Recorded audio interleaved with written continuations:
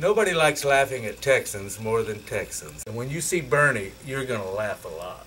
It's directed by Richard Linklater. It stars Jack Black, Matthew McConaughey, and Shirley MacLaine.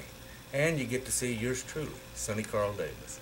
It opens at the Violet Crown this Friday night, 2nd Street in Austin, Texas. You're going to love it.